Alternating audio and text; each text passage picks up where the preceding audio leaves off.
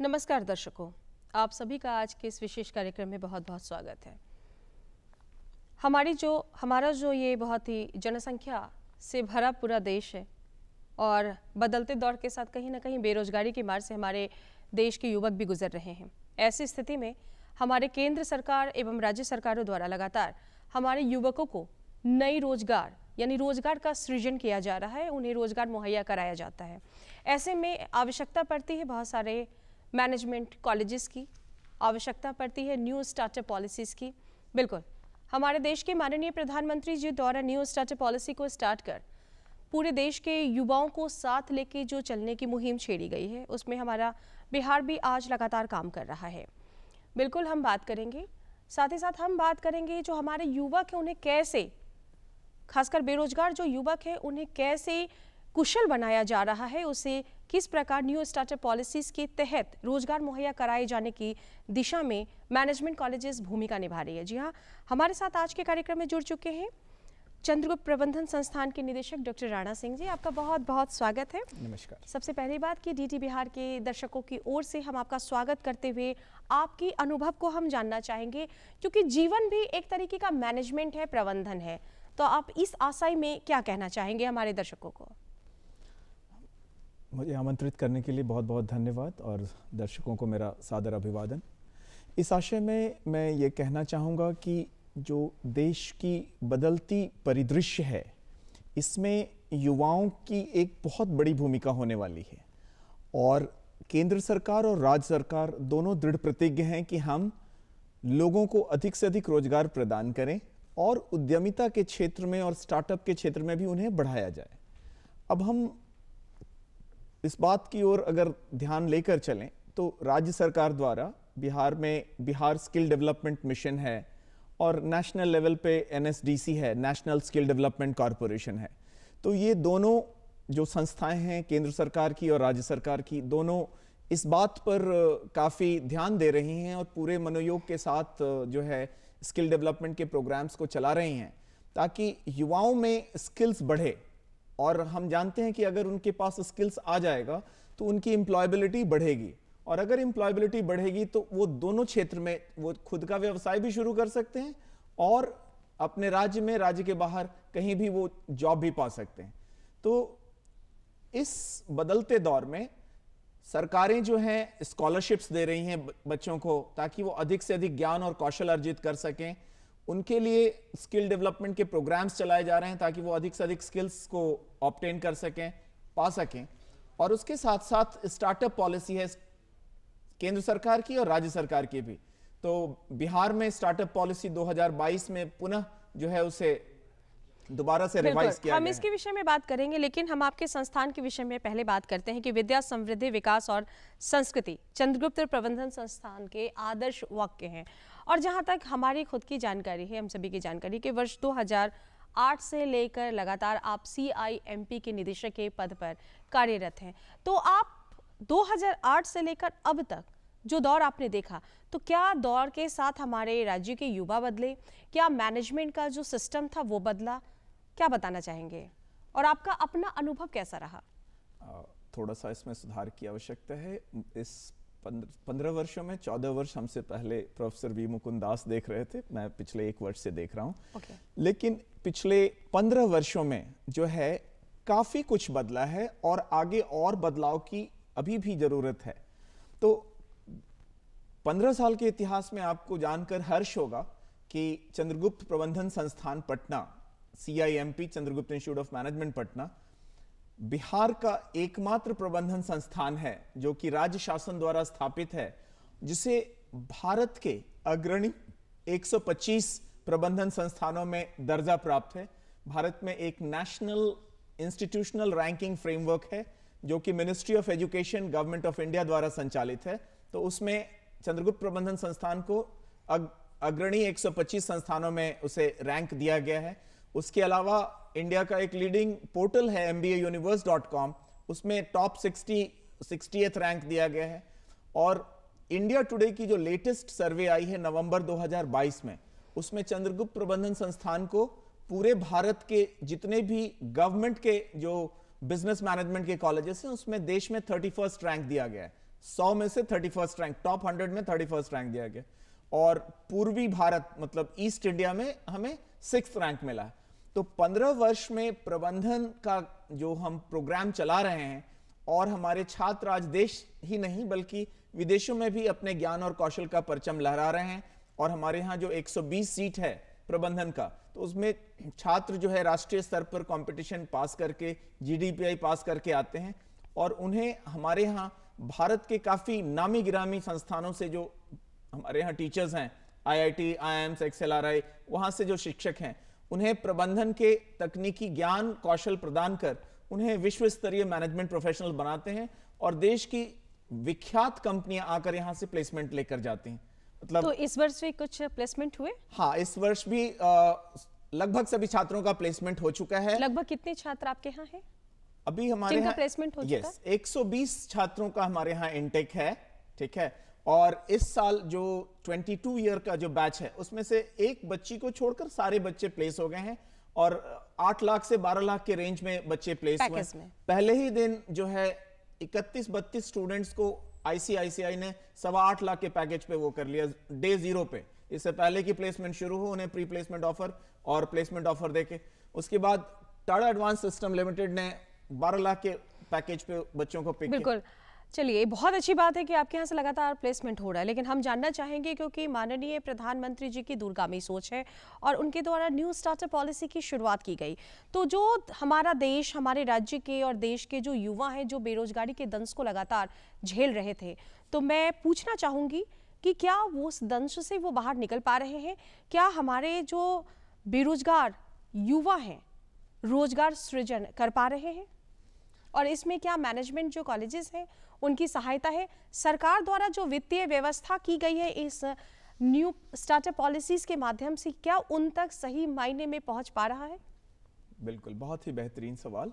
आ, अब मैं बता दूँगा कि बिहार में राज्य सरकार हमारे माननीय मुख्यमंत्री और हमारे माननीय जो उद्योग मंत्री हैं समीर महासेठ जी और माननीय मुख्यमंत्री नीतीश कुमार जी इन दोनों के ओजस्वी नेतृत्व में बिहार तेज तेज गति से जो है अग्रसर है। बिहार स्टार्टअप फंड पॉलिसी में लगभग 500 करोड़ निर्धारित किए गए हैं ताकि बिहार के युवाओं को स्टार्टअप के लिए फंड दिया जाए। और प्रति स्टार्टअप उन्हें 10 लाख रुपए की प्रारंभिक सीड राशि, जिसे हम कहते हैं आरंभिक राशि, दी जा रही है। और इसे तेज गति से जो है, हर महीने जो एप्लीकेशन आ रही है, उसे सरकार उन बच्चों को दे रही है। सीड मनी के तौर पर दस लाख, उसे दो ट्रांश में दिया जाता है, चार लाख और छह लाख। अब वो चार लाख की अपनी उपयोगिता प्रमाण पत्र जमा करते हैं तो बाकी भी छह लाख दे दिए जाते हैं। इसके अलावा माननीय मुख्यमंत्री के नाम से जो है मुख्यमंत्री S C S T OBC EBC महिला युवा कल्याण योजना जो है उसके तहत भी उद्यमियों को अपना उद्यम स्थापित करने के लिए दस लाख रुपए प्रदान किए जाते हैं। यानी इस माध्यम से लगातार स्टार्टअप्स को विकसित हमारे राज्य में किया जा रहा है। बिल्कुल मैं यहाँ बताना और कुछ उदाहरण? हाँ अभी ही इस साल के एक मतलब पिछले वर्ष के 31 दिसंबर तक आवेदन आमंत्रित किए गए थे बिहार सरकार के द्वारा, जिसमें लगभग दो लाख तेईस हज़ार आवेदन आए।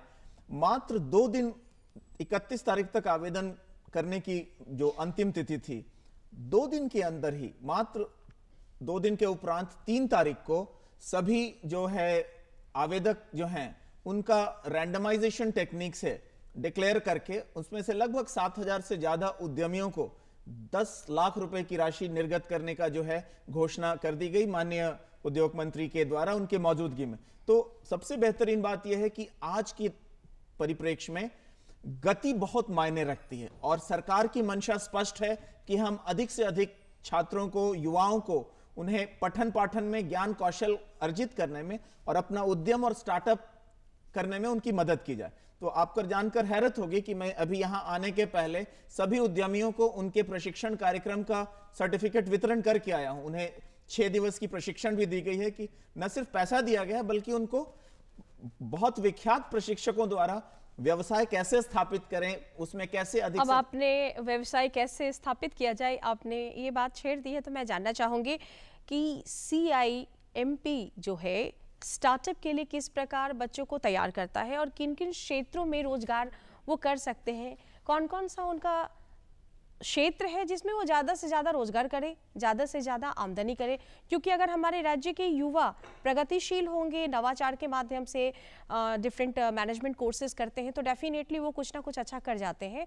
और ऐसी स्थिति में हमारे राज्य एवं देश का जो विकास दर है वो भी बढ़ता है। तो आप लोगों के द्वारा किस प्रकार उन्हें प्रशिक्षित किया जाता है और किन किन क्षेत्रों में?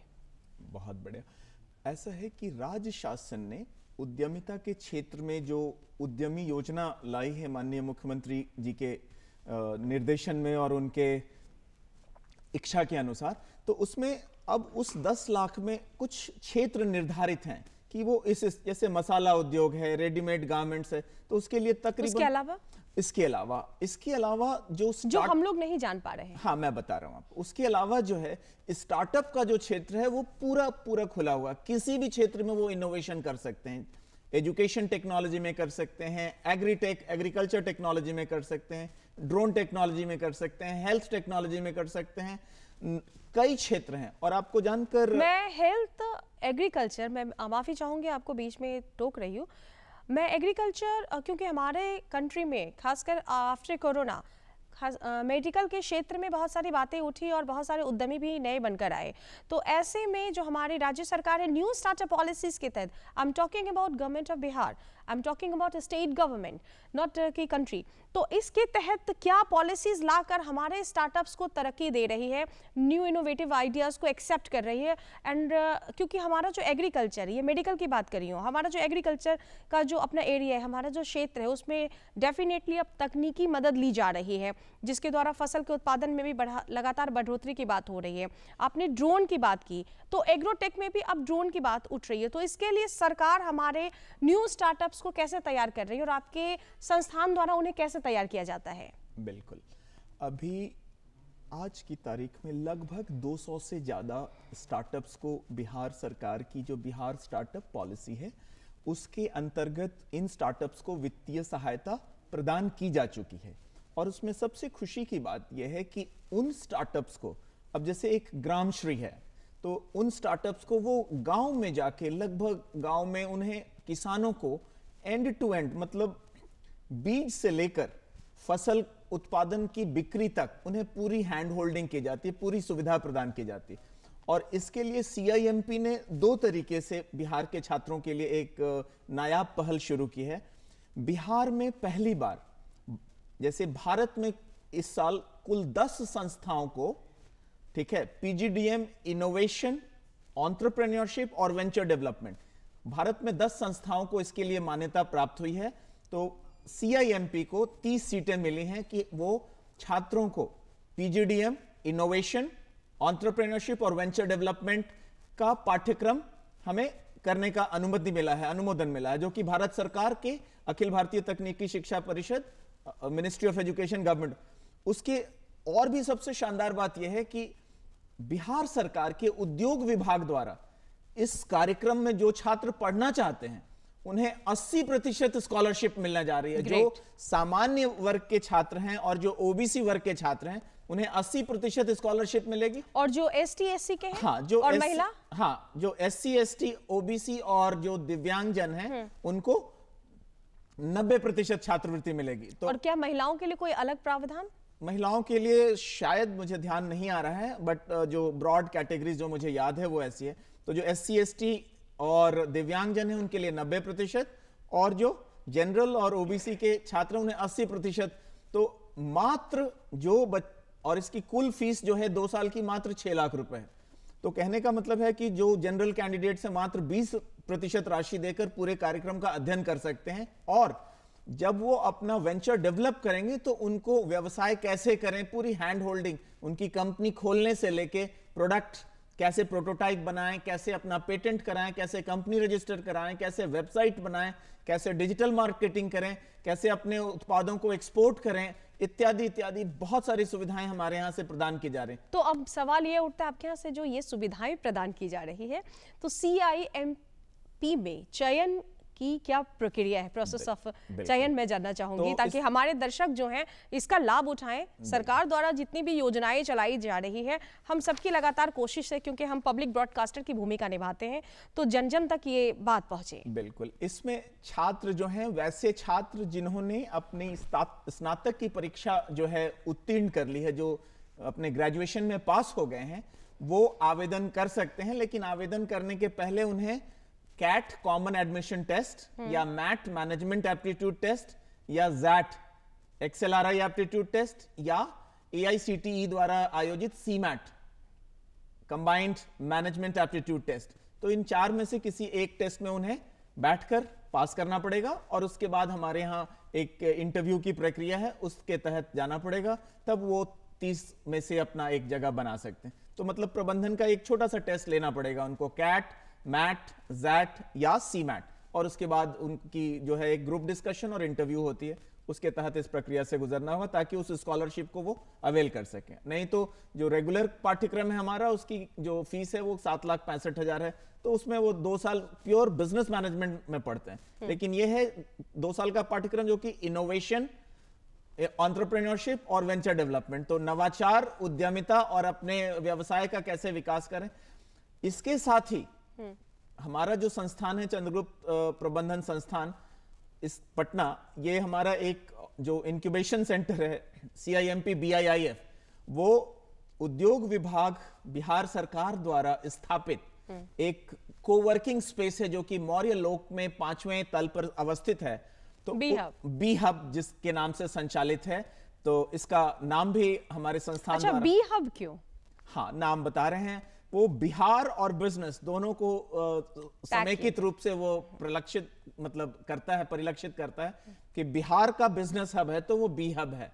और वहाँ पर लोग आए अपने व्यवसाय को। कई बार ऐसा होता है कि जो नए उद्यमी होते हैं उनके पास सबसे बड़ा प्रॉब्लम होता है कि वो कॉमर्शियल स्पेस बहुत ऊँचे रेंट पे देके शुरुआत में नहीं ले पाते किराए पे बिकॉज़ बहुत महँगा तो अगर कोई कमर्शियल रेंट आपके बी हब में लेना चाहे तो वो क्या प्रक्रिया होगी? उसकी प्रक्रिया ऐसी है कि वो बिहार सरकार की जो इंडस्ट्री डिपार्टमेंट की वेबसाइट है सबसे पहले वो जाकर वो एक आवेदन ऑनलाइन आवेदन करें ताकि वो एक स्टार्टअप के तौर पर रजिस्टर हो जाएँ और 10 लाख की आरंभिक राशि प्राप्त करने के लिए अधिकृत हो जाएँ। तो एक बार उनकी यानी कि बी हब जो आपका बिज़नेस के लिए जो सरकार द्वारा बनाई गई जगह है उसमें अगर उसे रेंट पर लेना है तो स- जो लेना चाह रहे हैं मान लीजिए मैं लेना चाह रही हूँ तो पहले मुझे सरकार के उद्योग विभाग के वेबसाइट पर जाना। पर जाना होगा और उसके बाद वहाँ ऑनलाइन आवेदन करना। आवेदन करना होगा और अपने स्टार्टअप के बारे में बताना होगा। बिल्कुल अपने आइडिया के बारे में अपने आइडिया यानी कि जो हमारे न्यू इनोवेटिव आइडिया है उसके बारे में हमें बताना होगा। हाँ। उसके बाद हमें सरकार वहाँ से चयनित करेगी विभाग हमें चयनित करेगी।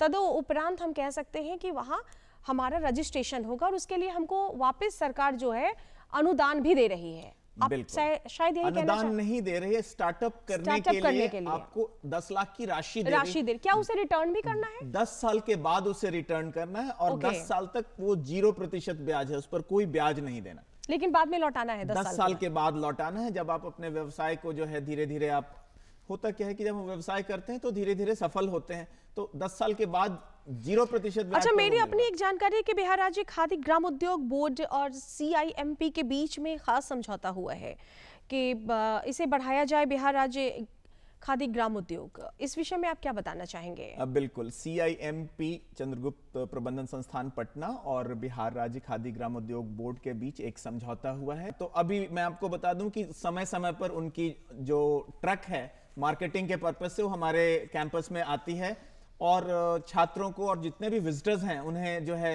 छूट प्रदान करती। उसके अलावा भी और कई मुद्दों पर हम लोगों की समझौता हुआ है कि ताकि हम खादी को एक जन आंदोलन कैसे बनाकर जन जन तक कैसे पहुंचाएँ ताकि खादी एक यानी घर घर खादी हर हर खादी। आ, वैसे मैं सिर्फ़ इतना कहना चाहूँगा कि उस व्यवसाय को एक नई ऊंचाई पर खादी की जो जो उसके फ़ायदे हैं हमें उसको पहुंचाना है। हर घर तक पहुंचाना है ताकि वो उसके लाभ को समझ सके। और ये समझें कि जो आज विदेशी जो मूल के जितने कपड़े हैं उसका नुकसान क्या है और खादी का फ़ायदा क्या है तो हम उन्हें जन जन तक इस जनसंचार के माध्यम से ले जाएँ ताकि वो अधिक से अधिक खादी को अपने जीवन का अभिन्न अंग बना सकें। देखिए, अब बहुत अच्छी बात है, आप लगातार हमें बता रहे हैं, खादी तो बहुत ज़रूरी है ही। लेकिन एक जो मेरा महत्वपूर्ण सवाल है कि हमारा जो देश है ना, इसमें 30 साल से कम उम्र के युवा अत्यधिक है और हम पूरे वर्ल्ड में यंग कंट्री के रूप में जाने जा रहे हैं। और ऐसे में हमारे देश के युवा अभी भी बहुत ज़्यादा बेरोजगार है। और कहीं ना कहीं उनमें कुशलता की कमी है। ऐसी स्थिति से निपटने के लिए आपके संस्थान द्वारा क्या काम किया जा रहा है? और क्योंकि आप लगातार राज्य सरकार की भी बात हमें बता रहे हैं, केंद्र सरकार की बात बता रहे हैं तो हमारे दर्शकों को ज़रूर बताएँ। बिल्कुल सबसे पहले तो मैं ये कहना चाहूँगा और मैं अपने माननीय मुख्यमंत्री जी को धन्यवाद देना चाहूँगा कि उन्होंने इस साल लगभग साढ़े पाँच सौ करोड़ की राशि जो है बिहार के युवाओं की जो कौशल को ऊपर ले जाने के लिए खर्च की है। और उसमें आज के उसकी जो एडिशनल सीईओ हैं मैडम रंजिता मैडम हम्म। वो का, वो काफ़ी तेज गति से स्किल डेवलपमेंट मिशन को आगे ले जाया जा रहा है तो बिहार में काफ़ी तेज गति से स्किल डेवलपमेंट पे समय लगाया जा रहा है ताकि युवा जो हमारी बिहार की जो युवा शक्ति है उसे ज्ञान और कौशल से परिपूर्ण कर दिया जाए ताकि वो न सिर्फ़ अपने लिए रोज़गार प्राप्त कर सकें, बल्कि औरों को भी रोज़गार प्राप्त करने में मदद करें। मदद करें। बहुत अच्छी बात। अब चलिए, क्योंकि हम बिहार में बैठे हैं, पटना में बैठे हैं, बिहार में बैठे हैं, हमारा अड़तीस जिला वाला बहुत ही खूबसूरत राज्य है और चौरानवे एक वर्ग स्क्वायर फीट का हमारा भूमि है और हमारी जनसंख्या दिन प्रतिदिन बढ़ती भी जा रही है। पूर्व जनसंख्या की बात की जाए तो तेरह करोड़ थी। अब इस वर्ष का पता नहीं कि जब आता है दस वर्ष के बाद तो क्या हो गया तो ऐसी स्थिति में क्योंकि हमारे यहाँ जो एग्रीकल्चर लैंड था, वो काफ़ी कम हो चुका है। हमारी कंक्रीटों का जंगल हम कह सकते हैं, लगातार डेवलपमेंट हो रहा है और भूमि हमारी सीमित, सिमटती चली जा रही है, खासकर एग्रीकल्चर लैंड की बात की जाए। तो ऐसे में आप किस प्रकार हमारे स्टूडेंट्स को, यानी कि जो आपके यहाँ सी आई एम पी में पढ़ाई करते हैं उन्हें आप कैसे तैयार करते हैं कि वो सॉइल मैनेजमेंट कर सके वो फ्रूट प्रोसेसिंग कर सके वाटर मैनेजमेंट कर सके और एग्रीकल्चर के लिए भी वो काम कर सके। अब मैं इस पे थोड़े से बारीक बिंदुओं पर जाऊँगा। एक्चुअली क्योंकि हमारा संस्थान व्यवसाय प्रबंधन से जुड़ा है। सर ये भी तो हमारा जो एग्रीकल्चर हाँ, है वो भी तो व्यवसाय में है। आ रहा हूँ मैं। तो एक्चुअली जो बिज़नेस मैनेजमेंट का जो अध्यापन होता है तो वो हर व्यवसाय से जुड़ा होता है। तो अब चूँकि एग्रीकल्चर में सॉइल से रिलेटेड मुद्दा है इसके लिए अलग पढ़ाई होती है जो कोई हम बीएससी एग्रीकल्चर की बात करते हैं लेकिन आपको जानकर तो हर्ष होगा। नहीं मैं ये जानना चाह रही हूँ कि आपका जो अपना मैनेजमेंट संस्थान है प्रबंधन के सेक्टर में किस प्रकार एग्रीकल्चर के लिए भी काम कर पा रहा है बिल्कुल क्योंकि हमारी टेक्निकली हम बहुत साउंड होते चले जा रहे हैं। तो क्या ऐसा कोई प्रशिक्षण आपके संस्थान द्वारा भी दिया जाता है बिल्कुल मैं अभी इसी मुद्दे पर आ रहा हूँ अभी हम लोगों ने चूँकि यह कृषि जो है मेरे दिल से बहुत करीब रहा है यह क्षेत्र और मैंने सबसे पहले पटना में जो एक संस्थान है आईसीएआर का हम्म। हम लोगों ने उसके साथ भी समझौता किया ताकि हम लोग कैसे मिलकर जो है अब जैसे सॉइल कंजर्वेशन है अब जैसे उसकी जो फर्टिलिटी मैनेजमेंट है हम कैसे उसको फर्टिलिटी को मैनेज कर सके। तो इसमें दो डोमेन है। एक तो एग्रीकल्चर का डोमेन है उसका मैनेजमेंट का डोमेन मैं मैनेजमेंट की बात बिल्कुल आ रहा हूँ। तो उसके लिए सबसे पहले हम लोगों ने उनके साथ समझौता किया नंबर एक। उनके साथ आचार विचार शुरू किए हम लोगों ने। और हम लोग कई कार्यक्रम जो है लगातार कर रहे हैं आपको मैं निजी तौर पर भी मैं बताऊँ मैं खुद यहाँ से गया था जो मशरूम के प्रोड्यूसर्स हैं हम्म। उनको हम ये बताएँ कि वो कैसे मशरूम की प्रोडक्शन को अब जैसे सबसे बड़ा चैलेंज है कि प्रोडक्शन तो कर लेते हैं अब उसकी प्रोसेसिंग करके कैसे उसकी शेल्फ लाइफ बढ़ाएँ कैसे उसको एक्सपोर्ट करें तो जहाँ तक हम बीज डाले और बोए और वो पैदावार हो गई वहाँ के बाद की जो स्थिति है तो हम लोग तो मैं पर्सनली उसमें पर्सनली इन्वॉल्व रहा हूँ मैं खुद जाके कई सेशंस लिए हैं वहाँ पे कि मशरूम ग्रोवर्स हैं, उनकी शेल्फ लाइफ कैसे बढ़ाया जाए, उनकी पैकेजिंग कैसे की जाए, उनकी मार्केटिंग कैसे की जाए। हम लोगों ने अपने संस्थान में पहली बार बिहार में, आज़ादी के 75 साल के बाद पहला जो है राष्ट्रीय मखाना डे हम लोगों ने यहाँ सेलिब्रेट सेलिब्रेट करना शुरू किया। तो कहने का मतलब है कि बिहार के जो टिपिकल क्रॉप्स हैं उनकी कैसे हम मैनेजमेंट करें? एपीडा के जो एजीएम हैं हम्म। बनारस से उनको बुला के कई सारी हम लोगों ने मीटिंग्स करी नेशनल मखाना डे सेलिब्रेट किया मशरूम ग्रोवर्स को वो किया। हम आपका एक सुखद संदेश भी हमारे राज्य के युवाओं के लिए लेना चाहेंगे क्योंकि आप सीआईएमपी के निदेशक के पद पर कार्यरत हैं और हमारे युवा लगातार आपको देख पा रहे हैं। बहुत सारी जानकारी चाह रहे थे लेकिन हम समय अभाव में हैं तो हमारे जो युवा है राज्य के उनको ज़रूर संदेश दें कि कैसे वो आगे बढ़ेंगे और आपके यहाँ आएँगे। बिल्कुल। आ, मैं तो सबसे पहले वैसे छात्र जो कि अध्ययनरत हैं ठीक है तो उन्हें कहूँगा कि आप जब भी भारत सरकार का एक स्कॉलरशिप पोर्टल है आप उसको जब भी अगर अध्ययन करना है तो स्कॉलरशिप पोर्टल को आप स्टडी कर सकें। बिहार सरकार का जो एक स्कीम है जिस स्टूडेंट क्रेडिट कार्ड स्कीम उससे आप लाभ लें और भारत के किसी भी संस्थान में आप अध्ययन कर सकते हैं। तो ये दो पोर्टल ऐसे हैं बिहार सरकार की स्टूडेंट क्रेडिट कार्ड स्कीम और केंद्र सरकार की स्कॉलरशिप पोर्टल हम उसे नेशनल स्कॉलरशिप पोर्टल कहते हैं scholarship dot gov dot in तो इन दो पोर्टल्स का इस्तेमाल करके आप पहले तो आप अपने शिक्षण में खुद को अपग्रेड कर लें ग्रेजुएशन पोस्ट ग्रेजुएशन पीएचडी तक आपको मिल सकती है। Number one number two skill development के लिए आप एनएसडीसी के कई सारे सेंटर्स हैं बिहार में। बिहार स्किल डेवलपमेंट मिशन के सेंटर्स हैं, उनका लाभ उठाएँ और निशुल्क अपने ज्ञान और कौशल में आप अभिवृद्धि कर सकते हैं। Number two number three startup policy के तहत आप जो है 10 लाख तक की फंडिंग ले सकते हैं अपनी कोई इनोवेटिव आइडिया देके उसके लिए आप बिहार सरकार के उद्योग विभाग की वेबसाइट पर जाएँ ऑनलाइन रजिस्टर करें। नंबर तीन। नंबर चार, आप बिहार राज्य की उद्यमी योजनाएँ CM S C S T EBC महिला युवा योजना, उसके तहत आप आवेदन करके आप जो है दस लाख तक का लेके उद्यम स्थापित कर सकते हैं। मेरा तो एक संदेश है कि अगर आप अपना निश्चय दृढ़ कर लेंगे रास्ते सारे अपने आप बन तो जाएँगे। चलिए बहुत बहुत धन्यवाद डॉक्टर राणा सिंह। हमारे कार्यक्रम में जुड़ने के लिए आप निदेशक के पद पर कार्यरत हैं और हम धन्यवाद देना चाहेंगे हमारे दूरदर्शन बिहार की ओर से भी कि आपने अपना कीमती समय दिया और हमारे जो राज्य के युवा हैं उन्हें आपने बिल्कुल ये संदेश भी दिया और हमारे कार्यक्रम से जुड़े इसके लिए आपका बहुत बहुत आभार। उम्मीद है कि जो आज जानकारी आपको दी गई है न्यू स्टार्टअप पॉलिसीज़ में किस प्रकार आप आगे बढ़ सकते हैं? कैसे आप मैनेजमेंट के कोर्स को करते हुए नित्य नई ऊंचाइयों को छू सकते हैं? बस आवश्यकता है अपने आप में दृढ़ संकल्पित होने की। हौसलों की उड़ान उड़ने से आपको कोई नहीं रोक सकता। तो देखते रहे दूरदर्शन हमें और हमारी पूरी टीम को दीजिए इजाज़त। नमस्कार।